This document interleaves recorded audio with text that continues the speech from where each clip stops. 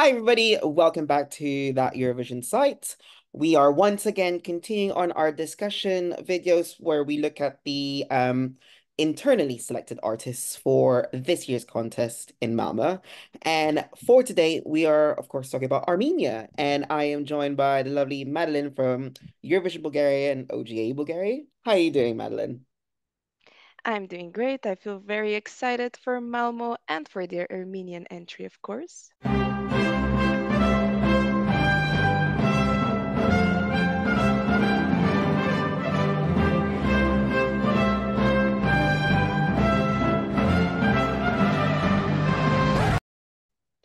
Okay, then, so if you don't already know, um, Armenia will be represented by Ladaniva, and they will be competing with the song Yako. Hopefully, I pronounced that right. Jako. Oh, Jako. Okay. Uh, um, can I just ask? Obviously, you're also part part Armenian, am I correct? So I just wanted to say, what what was your reaction when you found out that they are indeed representing Armenia in this year's contest? Okay, well, as we know, Armenia likes to take its time before confirming its Eurovision artists. That happen every year. But this year especially had a lot of rumors. We started with Ladaniva, then a bunch of other popular names. And I've been a fan of Ladaniva for a long time. So when we finally got the news that they are going to Eurovision, I was um, over the moon. I was so happy. And especially, it's funny because they released this song uh, back in October. It was part of their first album, which is again called Ladaniva. And this song has been in my Spotify playlist for months. So I've been listening to it, and now I'm listening to it as the Armenian Eurovision entry. And yeah, I'm very happy. I think it's a great choice.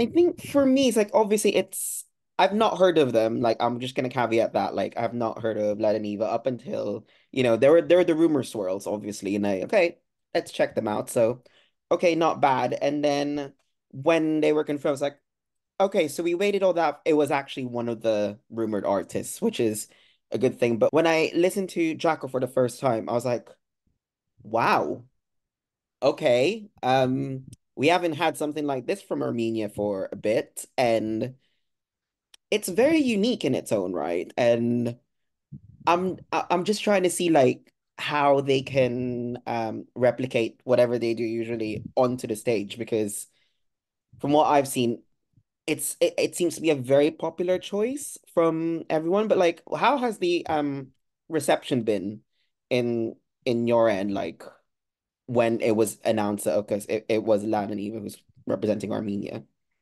I think um, Armenians were in general quite happy about the choice because um, yeah, finally, after it's been a lot of years, I can't even count how many, Armenia is something that's quite ethnic, quite local, and it's also up tempo. And the song itself is very true to Ladaniva style. They are mixing Armenian elements, but also worldwide music. Um, you can see the Indian influence, the French influence, the Balkan influence.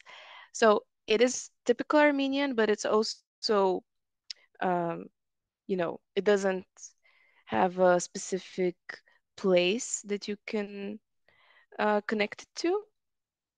But yeah, overall, they were pretty happy. Also, we're hearing the Armenian language once again in Eurovision, and I hope that uh, for the first time we'll have a song entirely in Armenian in the final. Um, but yeah, it also has a pretty uh, important message. Although you can see that the lyrics aren't that um, long. However, with short words, she's able to say that you can't really tell me what to do. I'm a free woman. I can decide how to dance, when to dance, and so on. Okay, then well for me, like uh just thinking at it, yeah, it was a very popular choice and it seems.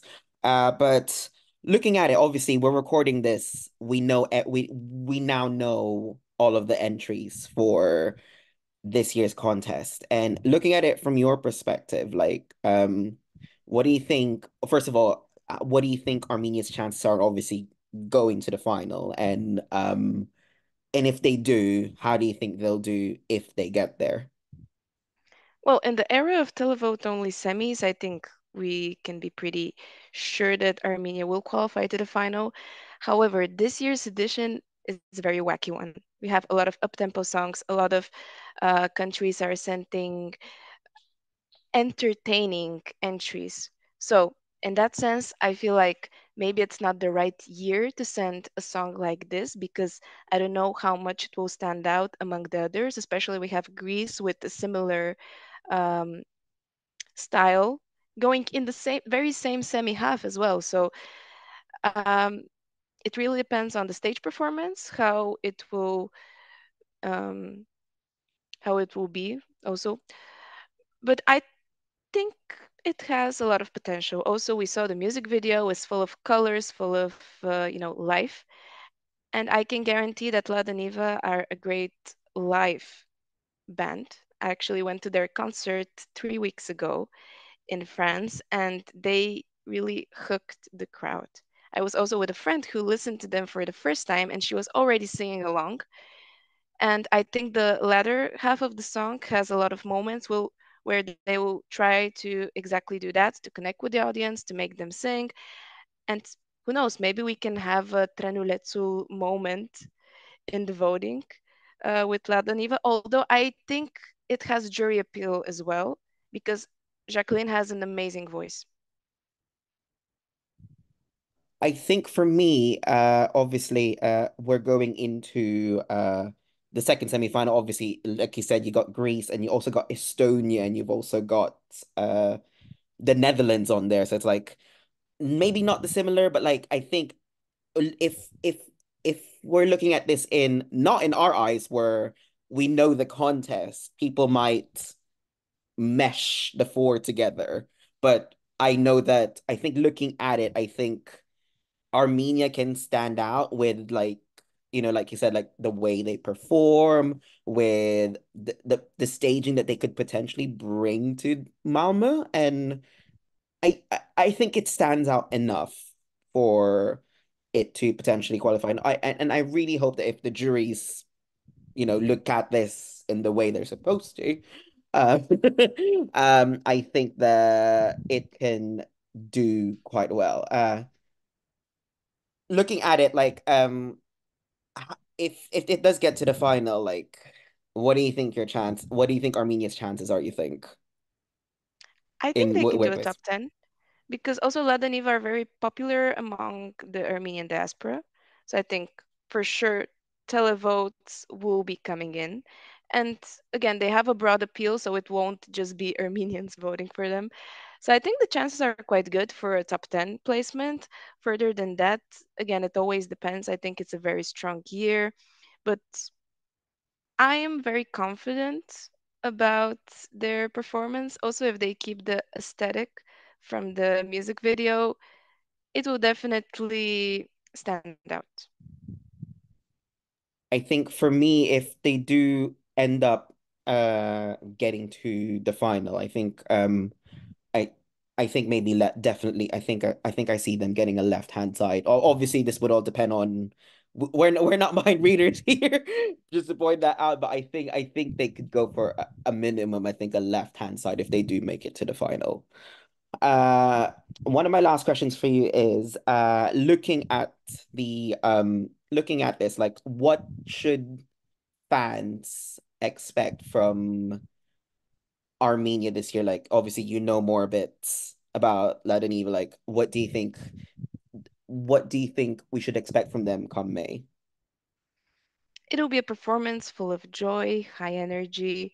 I think they will bring, yeah, a lot of uh, positive emotions.